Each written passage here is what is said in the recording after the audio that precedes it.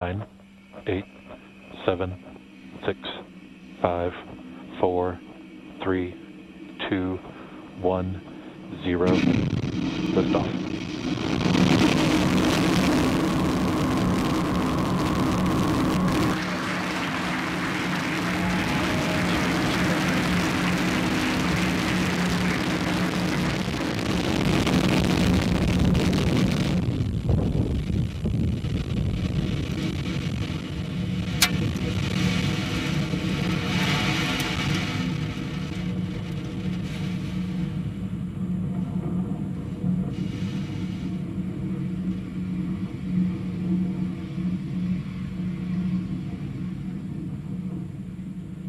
What a beautiful view of Falcon 9 as it successfully lifts off from Pad 4E at Vandenberg Space Force Base, carrying our stack of 51 Starlink satellites to orbit. Now, moments ago, we throttled the engines down in preparation for max Q, or maximum aerodynamic pressure on the engines, and that is coming up in just about 10 seconds here. supersonic.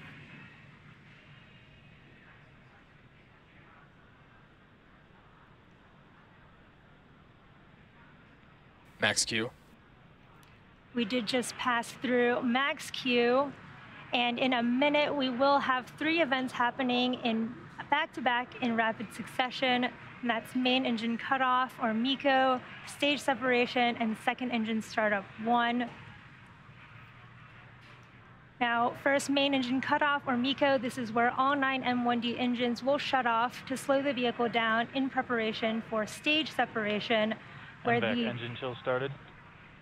where the first and second stage uh, will separate with the first stage making its way back down to Earth for landing and the second stage continuing on its journey to the third event or second engine startup one. And this is where the MVAC engine lights up and propels the second stage along with the Starlink satellites to orbit. We're about 30 seconds from main engine cutoff, and you can see that beautiful plume of the rocket as it is soaring in the sky.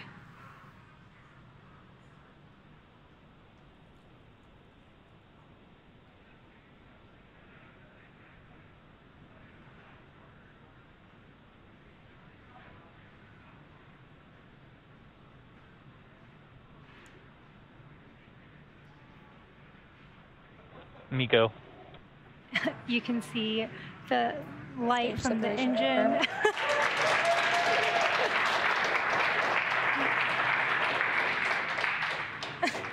the light from that first stage engine cut off. MVAC ignition confirmed. From main engine cutoff, you saw the successful stage separation, and the second stage engine has started up from those live views on your right there. That is Fairing separation confirmed. Merlin vacuum engine, and here we are waiting for fairing separation. you can see that great view of the two fairing halves separating from the Starlink satellites.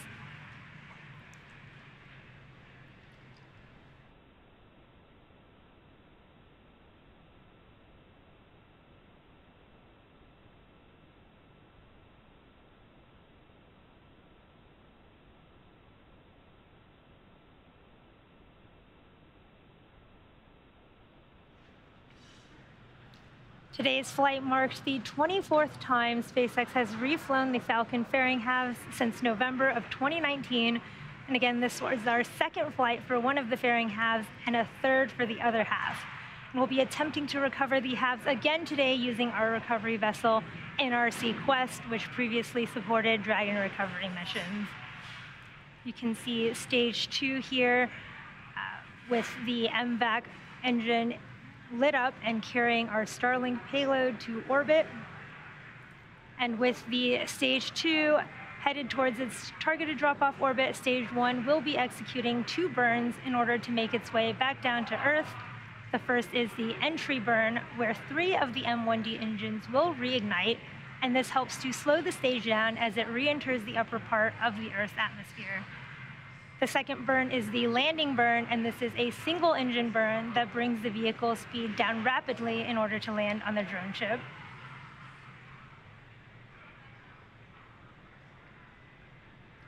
If you're just catching up with us, we had a successful launch of Falcon 9 from Vandenberg Space Force Base, SLC 4E, and you're looking at a live view of Falcon 9's second stage as it delivers our Starlink payload to orbit. Both vehicles are following nominal trajectories. Both stage one and stage two are on nominal trajectories right now, with stage one is cruising back to our drone ship. Of course, I still love you in the Atlantic Ocean, in the Pacific Ocean, sorry. As a reminder, today's mission marks the 10th flight for this particular booster, the second flight for one fairing half, and the third flight for the other half. Reusability is critical to what we do at SpaceX. It allows us to re refly the most expensive parts of the rocket, which in turn drives down the cost of space access.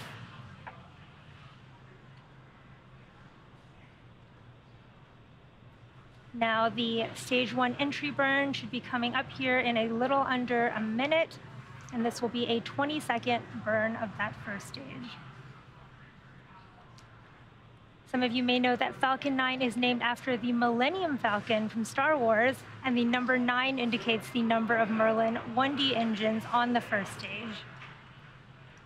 The Merlins on the first stage are optimized for sea level, and these achieve 190,000 pounds of thrust during ascent and descent, and the MVAC engine our Merlin vacuum engine that you see on your screen right now is optimized for 220,500 pounds of thrust in vacuum.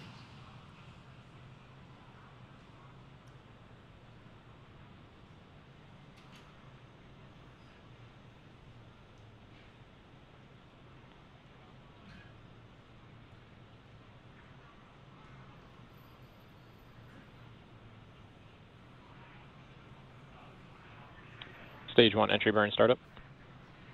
What a cool view on your left of the stage one entry burn startup there. This is a 20 second burn of three of the Merlin 1D engines of the first stage.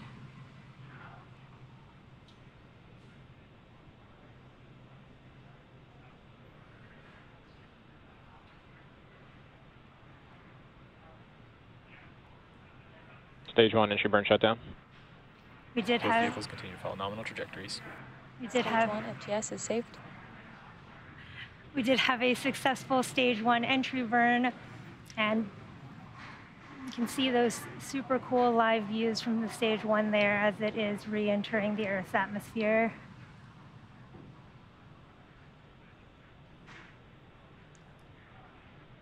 We can't quite make it out from those stage one views, but there is a lot of soot on that first stage of the booster, and that is because the rocket grade kerosene, or RP1, that is used as a fuel in Falcon 9 is carbon based, and when it burns, it generates that Stage one soot. transonic. And then as the booster approaches its landing site during descent, it does this long reentry burn, which we just saw, that slows it down uh, prior to reentering the atmosphere. And while it, and when it reenters uh, with its engines first, the booster actually flies through its own plume, which deposits the Terminal soot guidance. on the rocket. Now, stage one landing burn should be starting here very Stage shortly. one landing burn. Stage two FTS is saved. Stage one landing burn has just started. That is our drone ship. Of course, I still love you in the Pacific Ocean.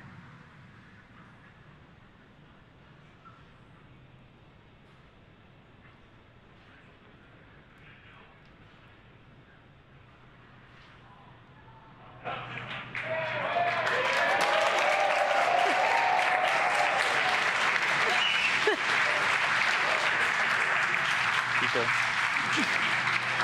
As you can see from that beautiful Stage view one landing confirmed. of stage one, having landed on our drone ship for the 10th time, this marks our 90th overall successful recovery of a Falcon 9 first stage and the 124th successful launch of a Falcon 9. We just missed it, but we did have a successful second engine cutoff one and a confirmation of a good orbit. Up next, we will have a coast phase followed by the second burn of our second stage engine. These additional burns allows us to modify the orbits of our payloads more efficiently than launching directly into the final orbit.